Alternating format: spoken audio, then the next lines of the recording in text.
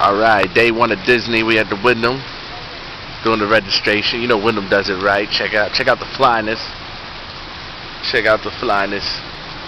Check out the flyness. People up there on the balcony. They got the the crazy waterfall. Check out the palm trees. Check it out. Check it out. Check out the car rental. You're gonna trip out with this. Guess what car we got rented?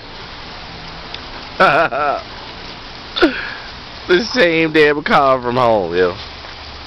Is that crazy? First we saw Butch, then we see the car from home. Wow. The Wyndham baby. Yeah.